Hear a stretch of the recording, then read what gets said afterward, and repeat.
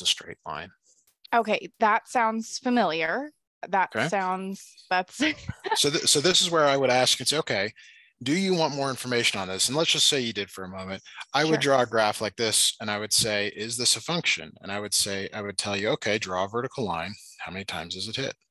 You would say twice. So this is not a function. okay. And I can give you some other examples. I could say, all right, well, how about something like this? And you would say, well, it only a vertical line only hits it one time, so it is a function. I see. Totally. Okay, cool. But if it No. were me, if I were on, on your side of this, I'd probably keep keep uh, sending over questions for us to look at uh, to be able to kind of kind of work through this as quickly as possible to get you the the best value here out of your time.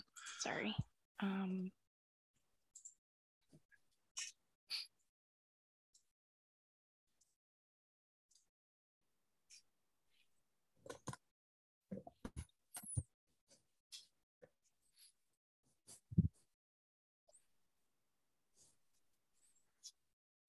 right.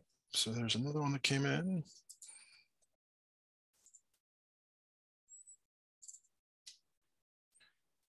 All right.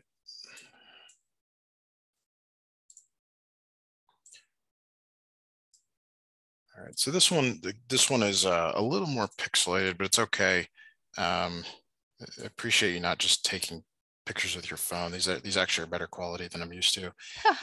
so it says give the domain and range of the function whose graph is is shown to the right. And again, these this actually means it goes down forever, and this means it goes down forever. Sometimes it's helpful to actually draw that. The domain domain refers to the the inputs or the x values, and and what you're looking for are what are called discontinuities. Basically, any breaks, Uh, and and this one does not have any breaks. It's nice and smooth and continuous everywhere. Uh, so uh, the domain is all real numbers. There's there's no places where, and, and maybe you heard this back in uh, previous classes, where you can draw it without lifting up your pen or pencil here because there's no no breaks. So in terms of interval notation, and, and this is where it- you may need a bit of help here to actually enter this in. It's parentheses minus infinity comma infinity close parentheses. mhm. So when you when you click in that box, if you haven't used Pearson in a while, um, there'll be some buttons on the bottom to help. It kind of helps you to navigate which things to press to be able to get get that input Mhm. for you. Okay. Um, and uh, whenever you've got that down, we can go to range next. Got it. So range are, are the outputs or, or what you care about, which are the Y values. So the Y values referring to the Y values in this, in this graph here. So these, these go down forever and, and down forever is, is minus infinity. So you can think of, of your range as like min to max, low to high, bottom to top, whatever words, words you uh, like there.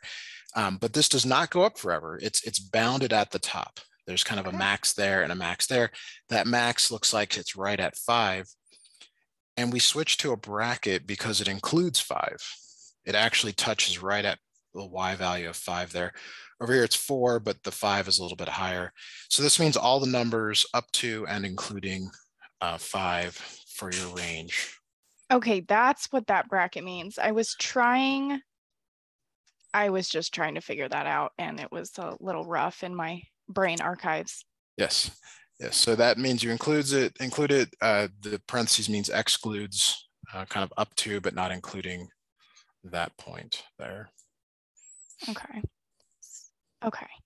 Um, so I have that input, but for some reason it's mad at me. The parentheses look red. Okay. I don't know if that's Yeah, that's not good. That's not good here. I mean, I would, you'd have to share your screen for me able to help you sort of navigate that, but you, they, they just, uh, I believe you can either type it in manually parentheses minus infinity comma five bracket, or they have got a pre-filled button to push. Yeah, could you let me uh, share my screen? Sure. So I'm going to make you co-host here. Uh, please don't kick me out of the meeting. Oh geez, no. Yeah, a, so and just as a reminder, you probably already know this, but when you you share, you get to choose what you share. So just be very careful that you're sharing what you want to share at this Okay. point.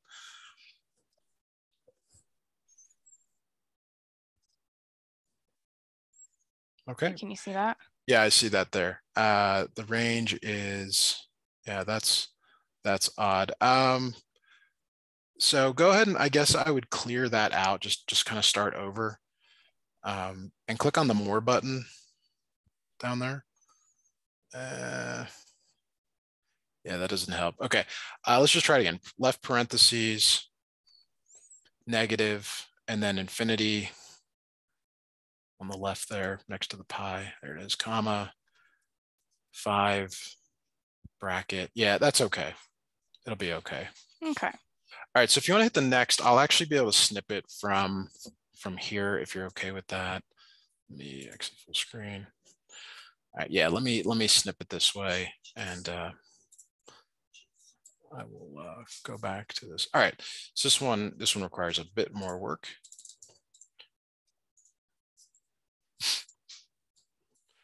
All right, so we're going to share. Okay, so it says let g of x equals x squared minus 3x plus 8. Find the following value, r, g of r plus h. What that means is wherever you see an x, you're going to substitute in r plus h. Okay. So there's there's x squared. So you're going to write off to the side here, x, I'm sorry, me undo that, r plus h squared instead of the x minus 3 times r plus h plus 8. Okay. Now, if you were to just put this in here, I don't I don't actually know if it will take it. We're going to simplify because it does want that uh, usually. Uh, but this the, this is the direction we're going. So the r plus h squared is really r plus h times r plus h. And then you're going to FOIL that. So you're doing your, your first, your outer, your inner, and your last r squared. Yeah. plus RH plus RH plus H squared. You have to distribute this minus three to both, minus three R minus three H plus eight. Okay. And then uh, from here, you combine like terms. So you've got R squared plus two RH plus H squared minus three R minus three H plus eight. And that's what it's looking for in this box here. Oh my gosh, how funny is that? Yeah. Okay, gotcha. Let me begin here. Um, and this is leading you towards what's called the difference quotient, which is the basis of taking a derivative, which is the first kind of key concept in calculus. Okay, gotcha.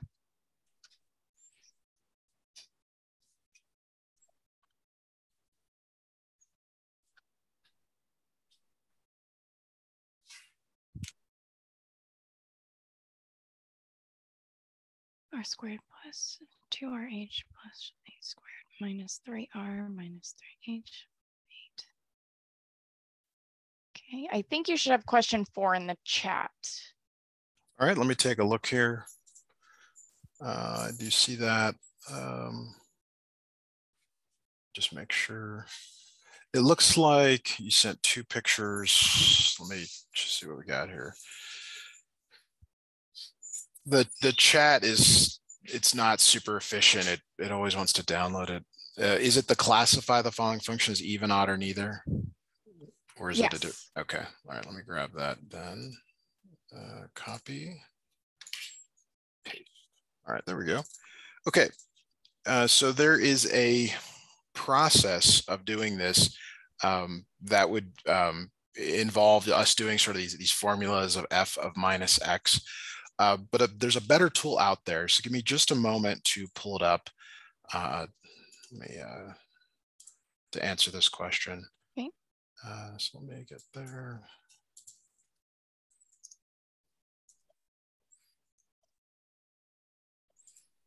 All right, so uh, have you ever used Desmos graphing calculator before? Um, some guy online mentioned that to me yesterday it's extremely helpful. The thing is, though, is you're not always allowed to use it in the class. Um, so it's it's like it's a it's an amazing tool. It's like like what we would want every student to use, but some universities are very antiquated and they're like, you know, we're not we're not going to do that. Are, are, you seeing the Desmos? I'm, I'm just making I sure do. you're, you're seeing yeah. this. Okay. All mm-hmm. right. So so if the function were even, it would look the same on the left as it does on the right meaning like if there was mirror a mirror image. exactly and that is not the case here because there's you know that this thing that comes down there'd be something that comes up this this one over here on the right is not over here on the left odd would be what's called a rotational symmetry. Um, and that's a little bit hard to see here, but I'm gonna do something maybe, maybe to help out here. So let me have you see this way. Do, do those look the do they they look sort of rotated about this Mhm. point zero so that's that's odd and there's an algebraic definition but if you can graph it you just look for those two things either it's a mirror image or it looks like it's been rotated about the origin Okay. and so this one is odd Okay. Only because you plugged that equation into this site and that's how it graphed it. uh, the, the graph tells us the, the the the graph reveals whether it's even or odd. So Okay. like so like let me show you one that is that is even so you, can- you can see this. This is even because it looks the same on the left and the right. But this one is not even because if you draw that that line right down the middle, it's not the same on the left as it is the I'm sorry the the right as it is on the left. And, and maybe maybe you're thinking, okay, well, it is symmetric about this point. It is, but we're looking at it from this perspective, greater than zero. And then what does it look like less than zero? And, and, and that x equals zero is the dividing point. That's your mirror, not, not this other point over here. Uh-huh. Okay. And so I'm trying to give you like, this is a shortcut. This is like, we're not even gonna worry about the algebraic definition. We're just gonna graph it and see what we see to, Yeah. to make the, to determine the answer. And there's a lot of calculus that will do this way. Okay, cool. Yeah. I mean, I'm not proctored or anything, so that's kind of nice, you Great. know. Great. So this is a tool I will use regularly. Um, I would encourage you to, to at least, you know, graph one thing over this course, just to, you know, you may find someday you want to graph something and it's really easy to do here. Sure. All right, we're ready for, uh, for another question here. Okay. So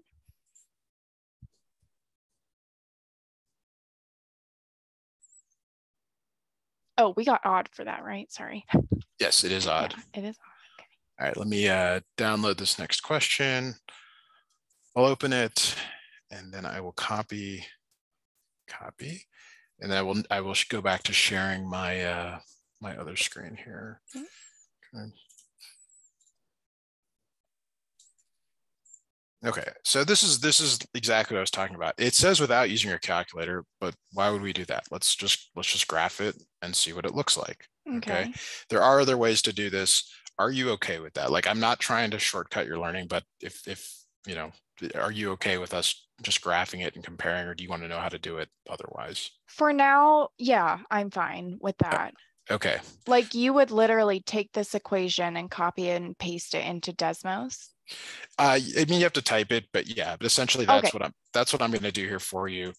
Um, there are other ways to do it, like the sort of traditional approach, but, um, you know, whenever, whenever these online things say, hey, don't do something you should, or without using, you should immediately uh, use it. So you're looking for the graph that's kind of, yeah, it's, it's an odd thing. Um, you're looking for the graph that from the origin is, is moved left and then up. And, and if, you- if you're seeing on the answer space on your screen, I'm looking at answer B is the one that's moved a little bit left and a little bit up. Do you see how I, how Yeah. I'm doing that? Okay. And I'm just. I'm just graphing it and comparing to, to what is, to is the answers. Yeah. Totally. Okay. Great. Okay, I sent you six in the chat. I'm gonna grab you seven right now. Okay.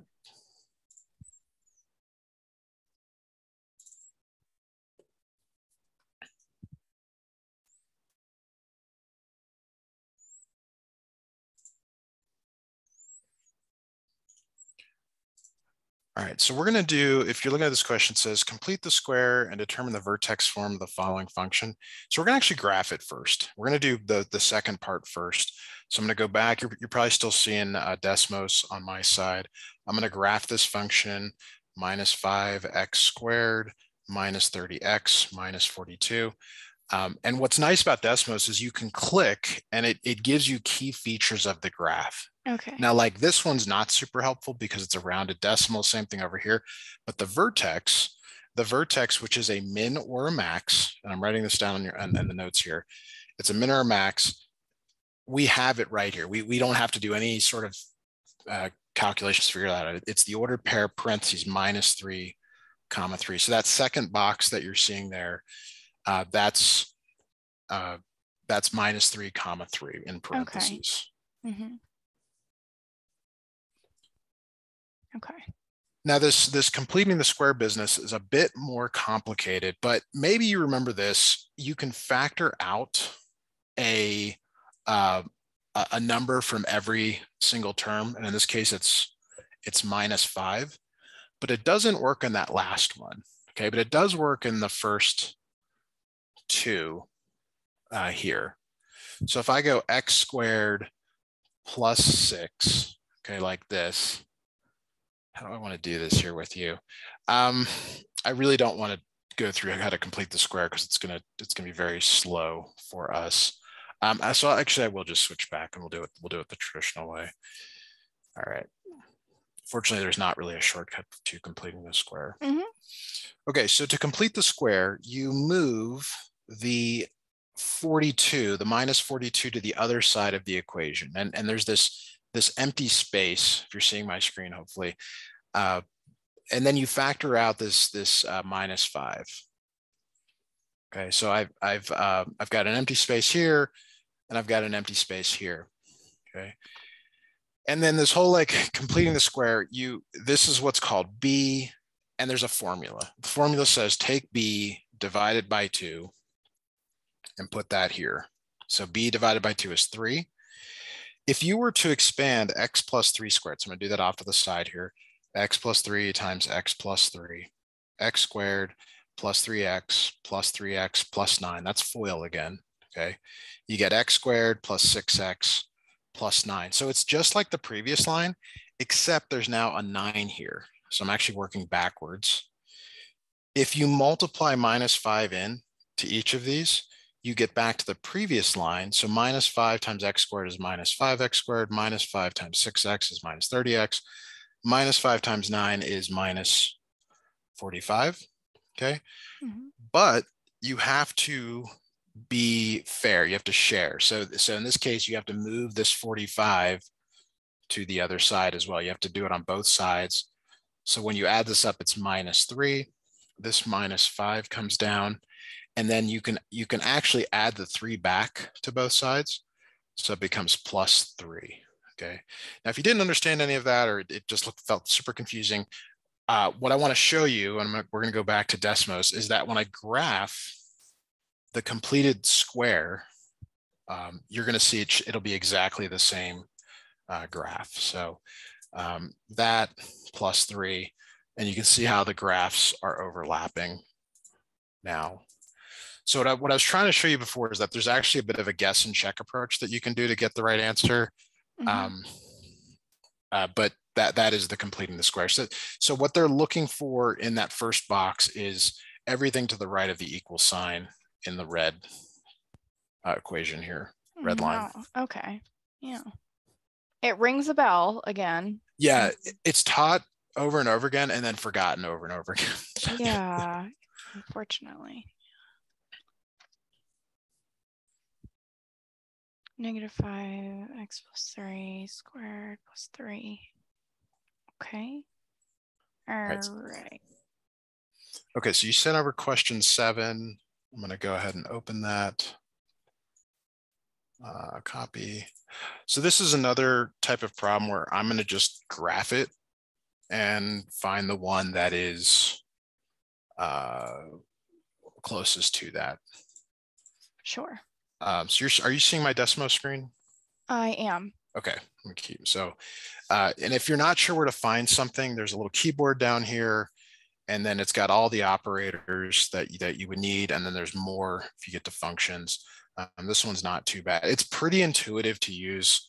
Um, you're probably using a lot of software and other aspects, you know, your work and stuff like this. I think is actually pretty easy to, you know, to use. It's um, so you're just looking for the one that looks like this graph. So uh, you're looking uh, between A, B, C, and D, you're looking for the one that's kind of uh, moved uh, to the right and then down. Looks like letter C is the best match. Okay, that. sorry, one second here.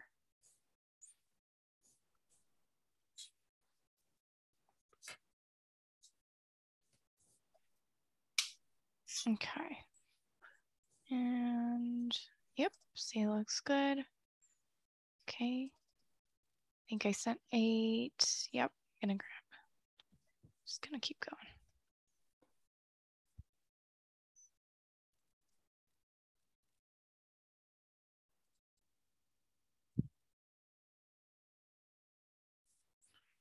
All right, uh, so question eight, we'll start next with, see here, open.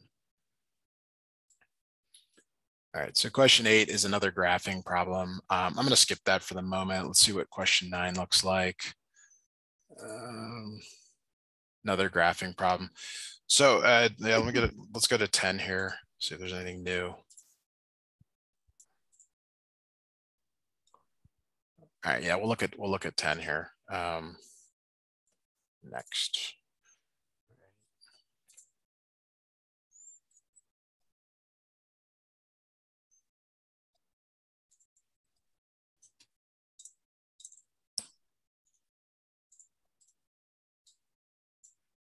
All right, so um, if you're seeing my screen, it says the given graph is the graph of polynomial function. Give the possible values for the degree of the polynomial and give the sign plus or minus for the leading coefficient here. So uh, you can actually zoom in on this graph by hitting the magnifying glass if you need to. Um, there's a couple of ways to determine uh, the degree of the polynomial. That's the, that's the thing that we need right now. The degree is based on the number of turning points, one, two, three, four, five, six. There are six turning points, TP for short, and the polynomial degree is the number of turning points plus one. So it's it's seven as a minimum, okay? And and you're like, well, hey Matthew, there's two answers to seven. So the truth is that there's actually could be more turning points, but they're in what's called the complex domain that you don't care about. But it's it's any um, multiple of two after seven. So it could be like nine, 11, so on. Okay. Hmm. So this is this is the correct answer here. Um, the other thing you can you can know is that if if it starts high and ends low or starts low and ends high there's shapes of these polynomials that you you would learn in your your college algebra class and you would know right away that this is an odd degree because of the fact that it started high and ended low and that way this is the only possible answer here even degree functions they either start high and end high or they start low and end low these are even degree Okay. Um, um, and it's yep. just it's just it's just remembering that, right? Totally. And then the sign of the leading coefficient is um, uh, in this case it's negative. So there's like four of these graphs that you would know, and if you like weren't sure, you could just go to Desmos and type in like negative x to the seventh, and you would get a graph that looked like this, which matches yours. So that would help you to to be able to answer this. And that's why the Desmos is so cool because it actually allows you to do a little bit of like guessing and checking on this. So probably just says negative there. Um, not really, not really sure on that. So I'm gonna actually just stop the recording for a moment here and just, just uh, I guess maybe be a little more, just do